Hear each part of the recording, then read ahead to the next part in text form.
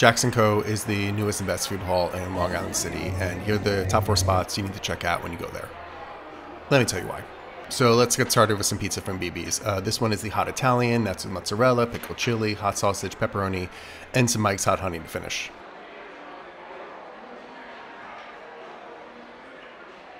Let's keep the spicy train going with some hot chicken tenders, some hot chicken takeover, and uh, make sure you get a good dunk of that house ranch. Oh, wow. All right, and to cool down that heat, uh, let's stop at the bar and get a little drink drink. Ooh, actually, I like that. And finally, you know I'm getting Chinese, and Gia killed it with these scallion pancakes and pork buns.